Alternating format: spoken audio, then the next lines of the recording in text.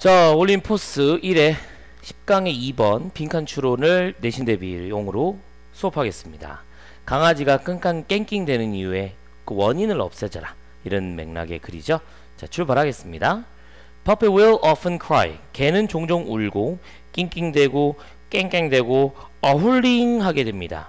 우리가 하울링이라고 하는 요단리가 아우 하는 것이죠.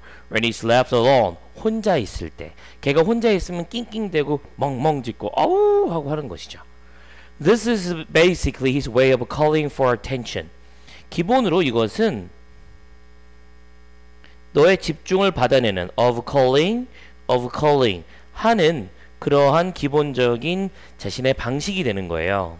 그래서 묶어보면 첫 번째로 집중을 얻어내는 방식 calling out for attention 그 다음에 calling out to make sure that 대절을 확실하게 하기 위해서 불러내는 것이죠. 뭐라고 확실하게 하느냐 You know there he is there and you have not forgotten about him 또 이제 헷갈리게 되고 까, 까먹게 되니까 너가 안다 그가 거기 있다는 거. 나 여기 있어요. 라고 you, 즉 주인이 알게끔 하는 게 바로 낑낑대는 이유고 그 다음 you have not forgotten about him. 그에 대해서 까먹지 않았다는 것도 확실하게 해줄 수 있는 방식이다 라고 적혀 있는 겁니다. He feels insecure when he's left alone. 그는, 즉, 그 강아지는 혼자 있을 때, 혼자 남겨지게 되면 불안하게 느껴집니다. 우리 칠판에 보면 feel이란 동사 다음에 feels 다음에 insecure 좀 적어봤는데요. 이 feel이란 동사는 느끼다라는 뜻이지만 자동사로도 쓰여집니다. 그래서 뒤에 insecure 같은 회용사를 쓰게 되는데요. 우리가 안전하다라고 했을 때 safe란 단어를 생각하게 되지만 safe와 비슷하게 secure 안전하다라는 뜻으로도 쓰여진다는 점 기억해 두시면 좋겠습니다.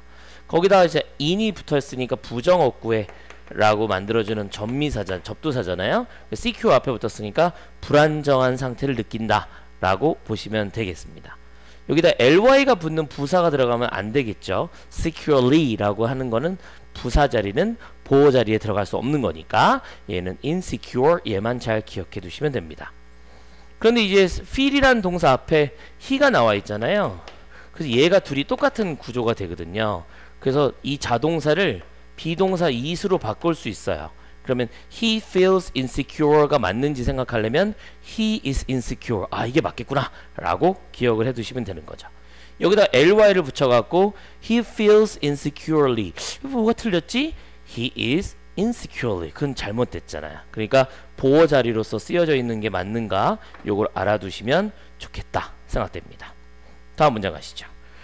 예를 들어서 혼자 있을 때입니다. When you're out of the house, 집에 밖에 있거나 혹은 crate, 운반 상자에 있을 때입니다. 일단 1번으로 병렬 혹은 네가 another part of a house, he cannot see you. 네가 집의 일부분, 또 다른 부분에 있어. 한마디로 저기 지하에서 뭐 정리를 한다든가 마당 밖에 있다든가 혹은 뭐 2층에서 혼자 이렇게 자고 있다든가 그래서 걔가 너를 못 보는 상태가 되는 그런 상태라면 불안함을 느끼니까 걔가 이렇게 느낀다는 거죠. 소리 낸다는 거죠. The noise he's making. 그가 만드는 소음, 즉 그가 내는 강아지가 내는 그런 소음은 as an expression of anxiety feels at being alone. 혼자 있을 때 느끼는 그런 걱정거리의 표현입니다. feel의 목적 앞에는 anxiety예요. 아, 여기 안, 도, 안 돌아오셨네요. 예, 돌아오시면 그가 만드는 소음은 결국 그가 집에 혼자, 혼자 있을 때 느끼는 걱정의 표현입니다. 그러니까 he need to be taught. 그는 가르쳐질 필요가 있습니다. be taught에다가 별표. 자, 이 문제에서 제일 중요해 보이는 문법 중에 하나네요. 왜냐면 위에 거 별게 없잖아요. 내용 쭉쭉 읽으면 되니까. 그가 가르칠 필요가 있는 게 아니라 가르쳐질 필요가 있는 거죠. 바꿔서 배울 필요가 있습니다. He need to be taught를 이렇게도 바꿀 수 있겠죠? He needs to be taught 가르쳐줄 필요가 있다는 것은 to learn 이렇게 바꿨을 수가 있습니다.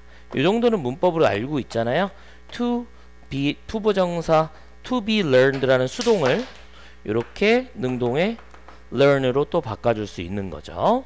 가르쳐줄 필요가 있게 되겠습니다. 뭐라고? That being, a, being alone is okay. 혼자 있어도 괜찮아. 나 혼자 있는 것도 괜찮아라고 가르쳐 줄 수가 줄 필요가 있다라는 것이죠.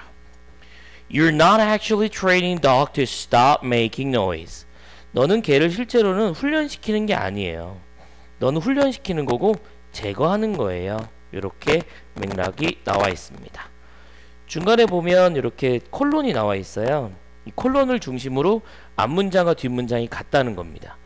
너는 실제로 더 이상 낑낑대도록 소음을 만들기를 멈추게 훈련시킬 수 없어요. 가만히 있어! 가만히 있냐고요. 아니죠. 가만히 있을 수 있는 거리를 줘야 되는 거죠. 가만히 있어! 그럼 가만히 있나 걔가? 아니야. 걔는 그냥 가만히 있는 게 이제 좀 이따 하겠죠. 말이 안 됩니다. 그게 뭐냐면 너는 그로 하여금 to feel comfortable 편안하게 느끼게 해야 된다는 겁니다. 언제?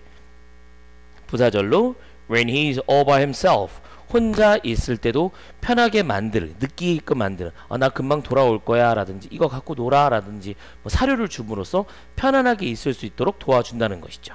그리고 removing the need 소리를 낼 그런 소음을 만들 만한 그런 필요성 같은 걸 제거해 준다는 것이죠.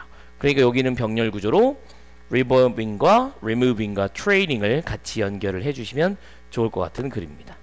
네, 개는 말이 안 통해요. 그러니까 어떻게 해요?